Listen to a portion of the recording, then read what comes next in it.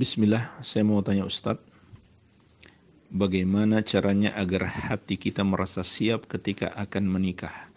Karena semakin dekat waktunya, hati merasa semakin ragu dan berpikir lagi. Dari Louis Banjarnegara.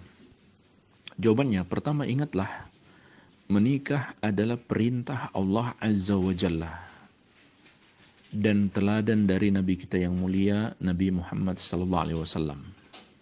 Jadi menikah adalah ibadah yang sangat agung kepada Allah wa taala. Dan ibadah tidak boleh ditunda-tunda. Hendaklah kita segera melakukannya.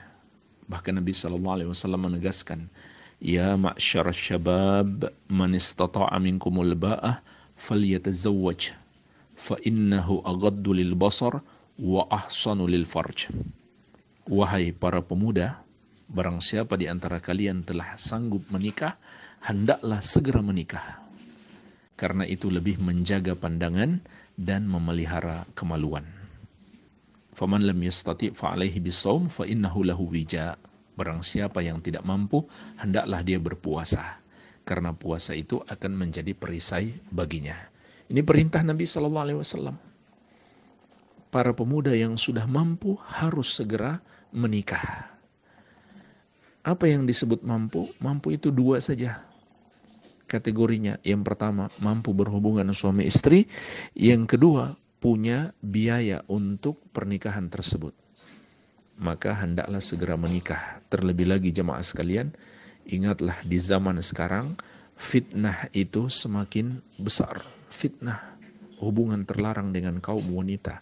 Fitnah pandangan terhadap kaum wanita di medsos maupun di dunia nyata. Maka dengan menikah, kita lebih dapat merealisasikan ibadah kepada Allah dan jauh dari maksiat. Maka hendaklah kita niatkan nikah itu untuk ibadah kepada Allah Azza wa Jalla. Dan ibadah hendaklah disegerakan, jangan ditunda-tunda.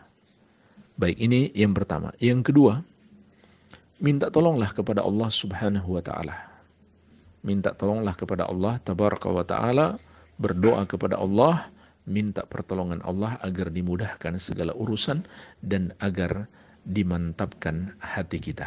Kemudian yang ketiga, hendaklah senantiasa menjaga diri dengan bertakwa kepada Allah Subhanahu wa taala agar Allah memberikan kemudahan-kemudahan dan dijaga dari godaan-godaan setan dan bisikan-bisikan setan. Karena itu bisa jadi termasuk bisikan setan untuk mencegah kita dari perbuatan baik dan menjerumuskan kita dalam perbuatan dosa, dalam zina, dalam perbuatan dosa memandang wanita yang tidak halal bagi kita dan seterusnya.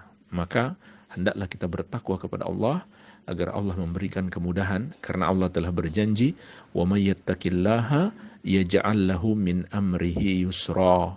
Barang siapa bertakwa kepada Allah, maka Allah akan memudahkan urusannya.